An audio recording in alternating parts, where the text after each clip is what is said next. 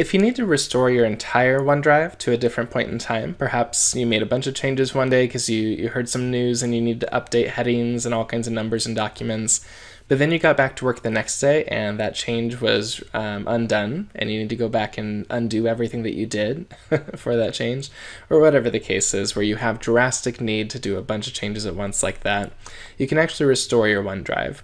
So in the upper right hand corner of OneDrive, look for that settings wheel choose restore your OneDrive, and then all you have to do is choose the day or time that you want to go back to.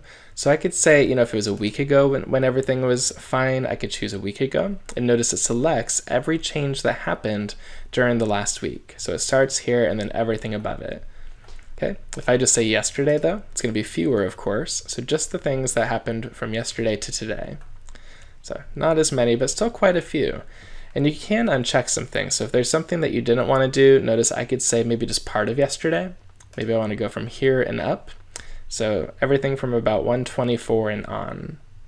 So once you've gotten your specific day and time, or maybe the specific changes and everything after selected, you just click on restore. Um, if you changed your mind, you can click cancel. So I'm going to show you both, starting with cancel, just to see what the prompt looks like. But it's going to say, you know, are you sure you want to stop? And you can choose yes, I want to stop restoring or keep going. So it just kind of gives you that, that last chance. But I'm going to continue and then choose restore. And it's going to say, are you sure you want to restore your OneDrive? All changes after this day at this time will be rolled back. I'm sure, so I say restore and it might take just a little bit of time depending on how how far back you're going. You know, if there's 300 changes, of course that's going to take a, a lot longer to undo than six. so in my case, I don't have that many that I selected so that we could get through this during the demo. Uh, but yeah, just keep that in mind if you've done you know massive amounts of changes and you're going back three weeks, then it might just take a little bit longer.